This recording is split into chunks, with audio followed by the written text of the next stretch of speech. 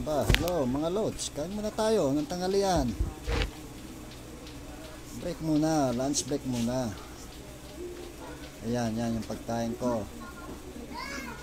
Kanin, tapos may pritong galunggong. Oh, yan oh. Ang sarap kumain oh. Oh, yan. Matinik-tinik pa siya. Ayan, yan, yan, yung binigay sa akin na Japanese noodles. Binigay sa akin ng apo ko. Ay, kinapstick pa.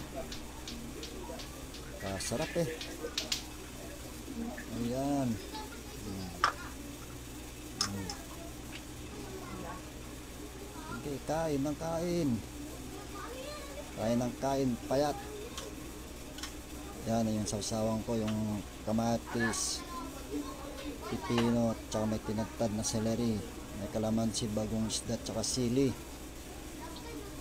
Kung di pa naman kayo gutumin yan. Sige, subo. Hmm, Hindi napakita pa.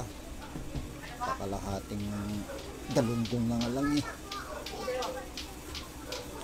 Oh, Lods, tara, tara na, kain na. Thank you for watching. Huwag kalimutang mag-like, comment, tsaka share nyo naman.